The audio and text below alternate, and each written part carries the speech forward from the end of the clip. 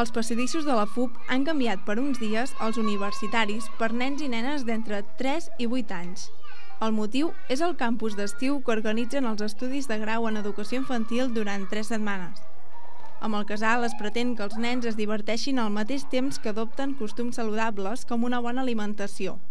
Una de les particularitats del campus és que tots els monitors són estudiants de la carrera d'educació infantil, tot i que ja tenien experiència com a educadors en el sector del lleure. Jo, jo soc estudiant, però a, a més he estat molts, molts anys fent de monitor i aleshores doncs, era un dels candidats a, a poder fer el casal a la FUP i al final doncs, s'han apuntat bastant nens i hem, hem pogut estar tres, tres companys de la, de la universitat. Una altra de les feines dels educadors és adaptar la universitat als nens. Els nens s'adapten de seguida a tot, l'únic que, clar, mm, els, els companys d'aquí de la universitat no, no veuen normal que hi hagi nens voltant i és una miqueta estrany.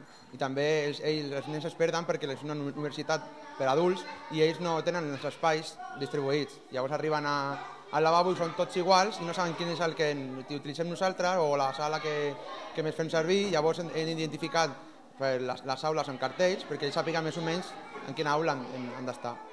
Totes les activitats del casal pretenen ensenyar als infants estils i hàbits de vida saludable, per exemple, aquest dimarts els nens han descobert i tastat diferents tipus de melmelades. Un cop endevinats els gustos, les han xocat al pa que havien fet ells mateixos. I després d'esmorzar, cada nen ha de rentar el seu plat i got per tenir-los nets per l'endemà.